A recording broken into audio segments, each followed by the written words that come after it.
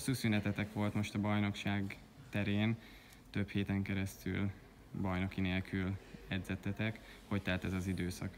Igen, volt egy kis időnk visszatérni az alapokhoz, csapatot építeni, és abszolút a kondicionálásra használtuk ki ezt az időt, ami azt gondolom, hogy a későbbiekben is ez ki fog ütközni.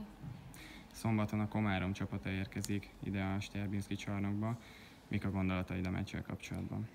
Így van, egy nagyon rutinos és felkészült csapat fog érkezni hozzánk. Ezt már az eredményeik is alátámasztják, illetve az is, amilyen régebbi eredményeket értek el, úgyhogy mi is nagyon készülünk rájuk, és megpróbálunk mindent megtenni az, annak érdekében, hogy két pontot itthon tartsuk.